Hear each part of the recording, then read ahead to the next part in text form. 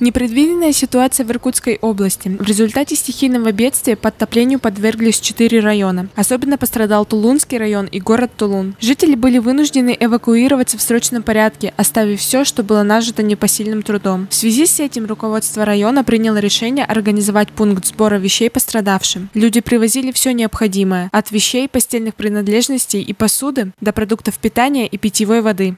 Задумка произошла внезапно, с главой посоветовались и решили, что всем тем людям, которые попали в такое стихийное бедствие в Тулунском районе, нужно оказать э, помощь. На одной из планерок бросили клич, и люди откликнулись.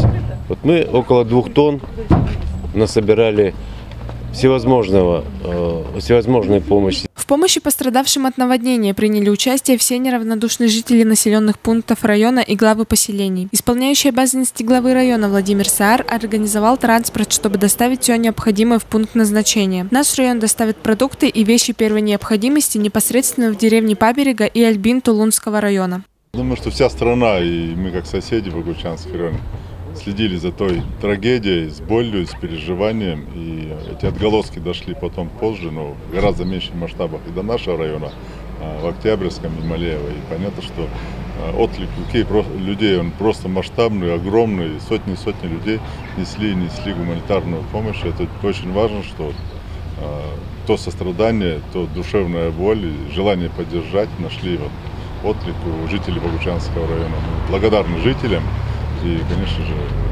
ту маленькую частичку нашей помощи и Иркутская область получит. Исполняющий обязанности главы района, напутствуя водителя автобуса, попросил о безопасности и своевременной доставке груза по назначению. Для сопровождения груза в командировку в Иркутскую область выехал заместитель главы Бугучанского района по социальным вопросам Иван Брюханов. Дарья Торпищева, Александр Черкашин, телекомпания «Спектр Богучанов».